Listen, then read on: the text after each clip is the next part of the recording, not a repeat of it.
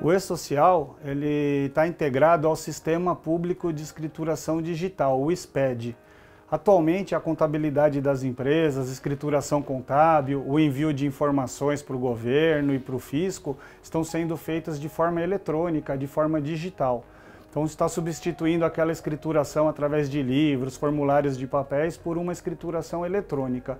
E então a parte tributária, os tributos, os impostos já estão nesse SPED contábil e no SPED fiscal. Agora é a vez da parte trabalhista. Então o e-social ele vem integrar de forma digital as informações relativas às empresas, empregadores e aos empregados. Podemos dizer que o e-social é a folha de pagamento digital, folha de salários digital, folha de pagamento digital. Atualmente, as empresas enviam diversas declarações, são obrigações que as empresas que possuem empregados precisam cumprir. Então a empresa quando contrata um empregado, ela tem que informar isso no CAGED, no Cadastro Geral de Empregados e Desempregados, tem que entregar anualmente a RAIS, tem que gerar a folha de salários, tem que fazer a GFIP, tem que recolher o fundo de garantia com a guia GRF, tem que recolher a contribuição previdenciária que desconta do salário do empregado, através da GPS, a guia da Previdência Social, né, tem DCTF web, tem várias obrigações. Então, quando aumenta o salário, tem alteração. Quando tem afastamento por licenças médicas, ou salário maternidade, ou férias, vários tipos de afastamento e eventos trabalhistas, a contratação de trabalhadores autônomos, a contratação também de trabalhadores avulsos. Então, todas essas relações dos empregadores com os seus empregados já eram prestadas já de forma independente, não estavam unificado. E o e-social agora vem unificar tudo isso numa plataforma digital que é o e-social, é um programa, um software para a empresa poder enviar essas informações, gerar folha de salários nessa plataforma. Então, de forma agora unificada, online, né, eletrônica, digital, né, e todas as empresas que possuem empregado, se tiver um empregado, já está obrigada a utilizar o e-social para prestar essas informações. Então é algo novo, eu não diria assim que é uma nova obrigação, porque as obrigações já existiam, são cerca de 15 obrigações para a empresa que tem trabalhador, que tem empregado. E essas obrigações agora vão ser prestadas num, num único local. Então o que mudou é a forma, não é que criaram uma nova obrigação para as empresas, mas sim a forma de comunicar foi alterada e foi inovada com o e-social. Normalmente as empresas já possuem um programa onde ela gera, roda a folha de salários dela, a folha de pagamento. Então, as empresas que têm esse programa ou então que contratam uma contabilidade, é muito comum as pequenas empresas terceirizarem essa parte de obrigações acessórias, trabalhistas, de escrituração para o seu contabilista, para a contabilidade que ele assessora. Então, as empresas já normalmente têm uma assessoria para cumprir isso e tem um programa também para rodar a folha, um software, um programa próprio. Esse programa, ela pode continuar utilizando esse programa desde que ela se certifique com o fornecedor que ele está integrado com o e-social. É um programa do governo ligado à escrituração digital. Hoje o mundo está digital, eletrônico, isso é bom para para a natureza. No primeiro momento também parece que é uma burocracia, a gente vai ter que aprender como fazer de novo. Realmente é uma situação agora um pouco desconfortável para as empresas, para as contabilidades, para as assessorias se ajustarem. Mas com certeza o e-social vai ser muito vantajoso, tanto para a empresa que vai ficar tudo otimizado, tudo na internet, e ela tem um histórico, lá ela consulta a data de admissão, quanto pagou de salário, todos os descontos, todo o histórico trabalhista está lá. Né, vai ser preciso fazer uma descrição do cargo, descrição das funções, isso também vai ajudar na gestão de pessoas, na, tanto para recrutamento e seleção, como para treinamento, como para avaliação de desempenho. Também as informações podem ser usadas pelo gestor para melhorar a gestão de pessoas na empresa e aumentar o resultado. Vai ser bom para o governo, que tem tudo em tempo real e eletrônico também, para fiscalizar os contribuintes. Parte de medicina e segurança do trabalho também no e-social. Então o programa é do governo, a plataforma é do governo federal, é desenvolvida e disponibilizado para as empresas prestarem as informações.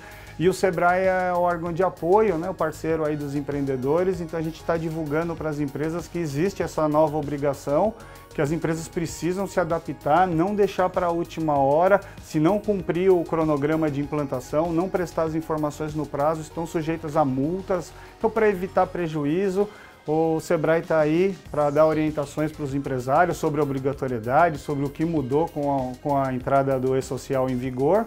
E a plataforma é do governo, sim, do governo federal. E o Sebrae está aí à disposição também, através dos nossos escritórios regionais, na nossa central de atendimento também, no telefone 0800 570 0800 e o nosso site sebraesp.com.br. Todas as empresas, então, como eu falei, independente do porte, né, independente do tamanho, que tiver pelo menos um empregado, já está obrigado à utilização do e-social.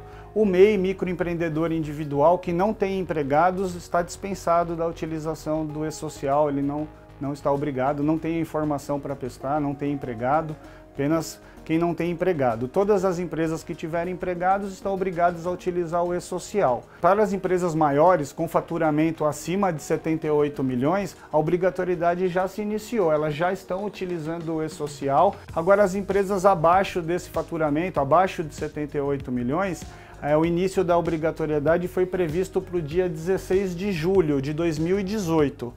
E aí no dia 4 de julho de 2018 saiu uma resolução do Comitê Diretivo do E-Social e aí prorrogou então o prazo, o início da obrigatoriedade para essas pequenas empresas para novembro, mês de novembro de 2018.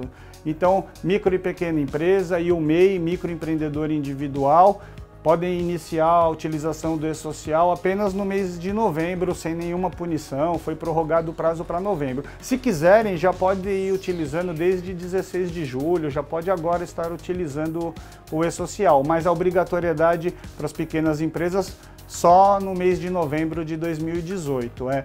O e-social, para você acessar a plataforma no site, no portal, chama portal.esocial.gov.br para o empregador, para a empresa, tem empregador pessoa física e pessoa jurídica, então não é só a empresa, o CNPJ que contrata empregado. Um, um, profissional autônomo pode contratar, um dentista contrata uma secretária. Então todos os empregadores, pessoas físicas e jurídicas que são empregadores, estão obrigados à utilização do e-social. Para a pessoa física que contrata trabalhador doméstico, aí para o empregador doméstico ele tem um módulo específico que já está em vigor já há algum tempo. Então todo mundo que tem empregado doméstico registrado como com vínculo empregatício já utiliza o e-social doméstico. Agora o e-social para as empresas e para os demais empregadores pessoas físicas ou jurídicas. Para quem é micro e pequeno, a obrigatoriedade é a partir de novembro de 2018. Para acessar o e-social lá no site, no portal esocial.gov.br, para quem tem um empregado, ou seja, apenas um, até um empregado, ele pode acessar utilizando o código de acesso. Então ele gera um código de acesso lá no portal do e-social, que é uma senha web, eletrônica, que ele vai cadastrar, é uma senha de uso pessoal dele, confidencial, e aí ele usa o e-social, presta as informações utilizando esse código de acesso, que é uma senha web. Agora, quem tem mais, isso aí a empresa tem que ser optante pelo simples, então não basta ser micro e pequena empresa, tem que ser micro e pequena empresa optante pelo simples nacional e ter no máximo um empregado ou apenas um empregado. Aí ele pode usar o código de acesso para acessar o e-social. Agora, se ele não for optante do Simples ou tiver mais de um empregado, aí ele é obrigado a comprar um certificado digital para poder acessar o e-social, certificado digital, assinatura eletrônica digital válida, né, segura, que identifica mesmo quem é a pessoa que está assinando, responsável por aquelas informações. Aí então precisa adquirir um certificado digital, um ECNPJ, se for pessoa jurídica, e aí com esse certificado digital ele acessa o ambiente do e-social.